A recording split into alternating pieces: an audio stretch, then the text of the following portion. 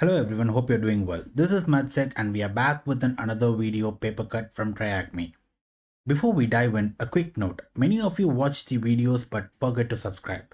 Your support motivates me to create more quality content so please hit that subscribe button. Let's go. So this is uh, papercut CV 2023 27350. So this CV is like authorization bypass in papercut um, print management software. So which leads to remote code execution. Introduction. So I'm not going to read everything, but I'm going to explain you uh, as simple as I can. So on March 8, 2023, a critical patch for CVE was released addressing a severe uh, authentication bypass in papercut NGMF application. This vulnerability allows attacker to remotely gain admin access and execute as system on the server. Despite the patch, active exploitation has been on the rise with APT groups like Clop deploying using a ransomware and mal malware. This is what it explains about this uh, introduction part. So if you go here, uh, we can click complete and move to task 2. So uh, this explains about the papercut uh, vulnerability so how this works and where it should be uh, uh, where it is found on which class. So everything so please go through uh, this uh, document so that you will understand uh, clearly how this works. So i will try to explain as much as simple. So this issue lies in software implementation of access control which is not correctly enforced in certain api endpoints so this flaw allows an unauthenticated attacker to interact with system in ways they shouldn't be. So such uh, as executing an arbitrary code. That's a simple explanation about this vulnerability. And let's go. So what is the name of the logic vulnerability that occurs when session and authentication functions are used for multiple purpose? So it is actually session puzzling. So if you click session puzzling. Okay. So what is session puzzling? Session puzzling is a security flaw where attackers manipulate session variables, sometimes combining multiple parts of sessions like cookies and parameters in unexpected way to bypass authentication or gain unauthorized access. So it works by taking advantage of how a web application process and combines sensitive data leading to potential security breaches. So in simple terms, it's a trick that system uh, into granting access by confusing the uh, way it handles the session related data. The next question is what is the name of Java class containing uh, the authentication bypass vulnerability? So which is uh, setup completed. So just copy that and paste it over here. Enter. So the next one is exploiting the CVE. Let's go. Um, this shows how to exploit this and this gives you like a basic uh, authentication bypass using the um, default credentials.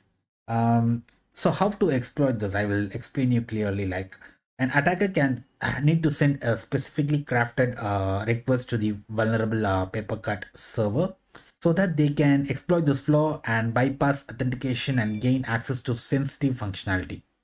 So this can lead to remote code executions where the attacker can run commands on servers effectively taking over the system. So in simple terms, this vulnerability allows hacker to sneak into Papercut system without needing a password, then take control of the server potentially causing a significant damage to the organization networks and data. So let's see how to exploit this. So we, they have given the um, uh, server. So just copy that and we'll go to terminal. Let's start uh, OpenVPN.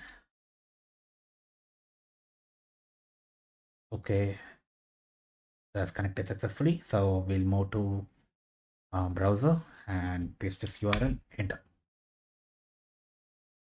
so we are on the page so this shows like we can try the uh, basic authentications like admin admin so this won't work so if you want you can try if there is a possibility to break into this application using a default credentials but here uh, the thing is we need to navigate to this page so that we can bypass the authentication. So this is what the CVE says. So just copy that and paste it over here, enter. So basically what this does is this is a configuration page like uh, when we set up the uh, server initially. So this creates an account uh, and also creates a new token for your admin account um, so that you don't have to log in. So if you click login, it automatically creates um, a new token for this admin account. So we have logged in as admin. If you see here, we are logged in as admin. This portal allows us to access multiple functionalities, but if you go here, um, the main functionality what we need is get remote code execution. The important functions are uh, we need to click printers and then uh, template printer and we have to move to scripting and then we need to enable print script so that we can execute uh, scripts and commands on the uh, system. So let's see, we'll go to um, printers, template printers, and then scripting. We need to enable print scripts so that uh, we can enter our uh, javascripts here. So if you go to TryHackMe and if you go below it gives you a script. So what the script actually does is this pings an attacker ip so we'll just copy this and we'll paste it over here.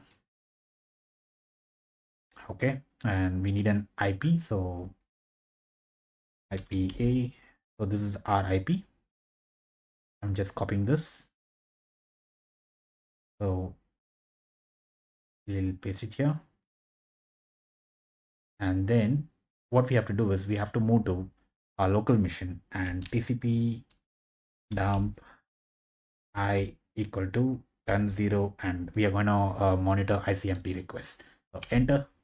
I don't have permission, so sudo tc we dump um, i4 interface uh, done zero and icmp request. Enter. Okay we are now uh, okay we are now listening. So here what we have to do is if you go below and click apply this will start um, the save successfully. This means uh, the script has executed successfully. So if you go here you will find uh, multiple ping requests from this mission Okay, now we found out that it is working. So how to get a shell? For that, uh, you need to go here and click this repo. Um, there will be an Python code. So just click that and copy this. Go to your mission. Make a new tab. Have mousepad. Um, paper cut.py and enter just paste this and save close this. So after this how to uh, how this works? I'll explain you later. So first we need to uh, create a shell. So just copy this paste it here and we need our ip to be listed here. Mm, copy the ip from um here. Just copy it and paste it here and then just click enter.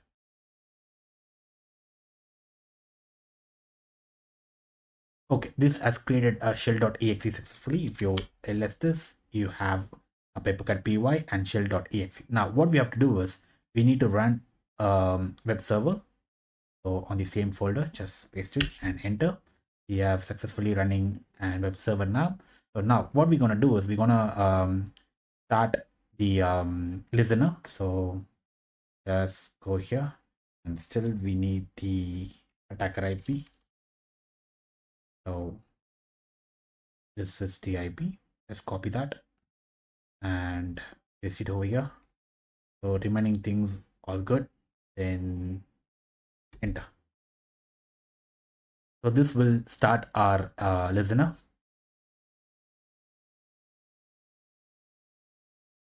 Now it is started. We are listening successfully. Now if you go here um so what we are doing is we are running an python uh, code so that we are giving this url and cert util. So this function is used to copy a file from the uh, remote uh, server. So this is the function what we are using right now. Just copy that. Um, and just open a new tab paste it over here and what we have to change is have to change this ip action. Go to um, here and copy the ip and paste it over here. So all good. Now um we need to change the code. So which is paper dot py so everything has been changed. So what we are doing is python 3 and we are running the script and we are getting um i mean we are uh, giving the url uh, base url and after that we are trying to execute the script which is uh, certutil.exe and we are getting the uh, shell.exe and we are saving this as shell.exe on the system. So and now press enter. So this has been downloaded successfully. Now we need to execute this. So for that um, just copy this and paste it here. Go to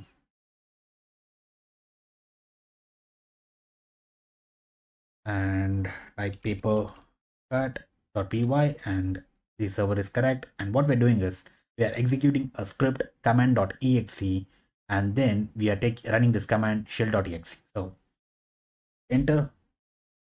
Now this is executing. If you go here it is connecting we are sending a stage and then we have connected successfully to the mission so ls sorry this is a windows mission so who am i? I am nt authority system. So PIR we have those informations. Okay we have exploited this successfully. We can answer this.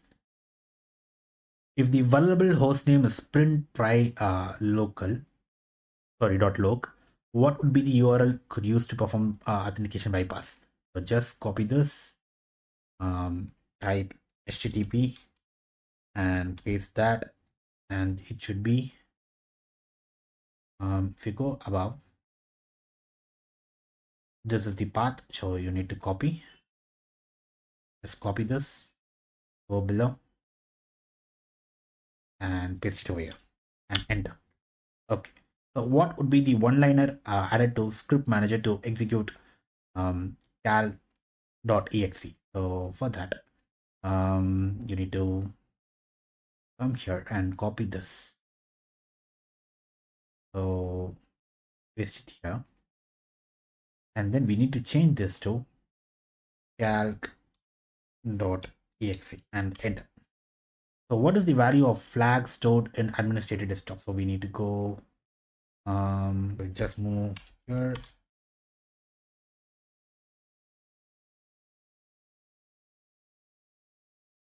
okay. Mm, we have yeah we have administrator so we move to administrator. And we need to have desktop so we go to desktop. And we have a flag. So type flag.txt enter.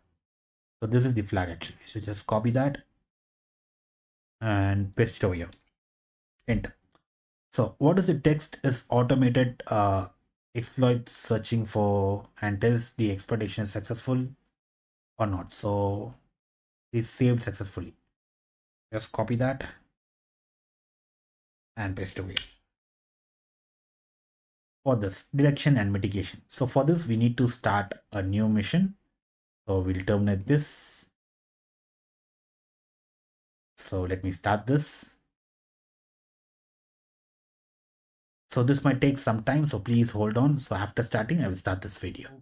This detection and mitigation mission has been started. So it's asking us to click, um, I mean, I'm ready. So I'm just clicking that. So network traffic signatures. So this shows like um, what and all things, how we can detect this attack and what and all steps we need to take for mitigations. So for detections, we need to check application logs, and uh, we need to check for this whether this has been uh, accessed on the um, network traffic signatures. And we need to also monitor the system processes whether this has anything like uh, powershell.exe or uh, command.exe on the uh, parent um, process. Um, and also we can uh, check the um, mitigation steps. So the mitigation will be like and also we can check the uh, sorry i forgot to mention this. And also we can check the server logs for any um, log we can find using um, what are all things has been updated and what are other things has been they have been accessed. So and the mitigation steps will be we need to check for the recent updates and update it. So let's go here. The network traffic signatures. If you go up uh, the network traffic signatures we need to look for like um this kinds of endpoints. So i think this should be a page printer details. If someone is getting to know about the printer details i'm just clicking that. Okay one is correct. And if you go below um, someone tried to uh, bypass and here one. We have been selected all three has been right and proceed. So we have access to process mon uh, i mean process monitor on the affected server.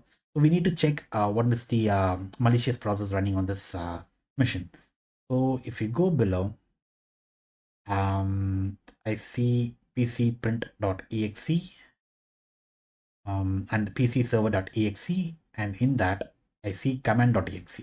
So this should be and malicious process. So 8436. Yes, 8436. Enter. Okay, it's correct. We can proceed. Review the application logs to determine if suspicious action occurred. Remember a specific configuration or options that need to be altered to allow this attack to occur. That means we need to find any uh, malicious or suspicious activity has been happened on the server logs. Let's see. Mm, okay. Uh, I think they have modified the print script to template printer, just like that. And the user has admit, uh, sorry, updated the config key. So I just um, clicking that, and so and again they have updated the config key. So I'm just clicking it again. So this looks suspicious and they are logged into administration interface using this IP. So the IP differs from uh, the regular IPs. Um, so if you go here, all the things IP looks similar, but we see here this IP looks different. So I'm just clicking that and press it So we got our final flag. So which is this, copy that. And if you go below,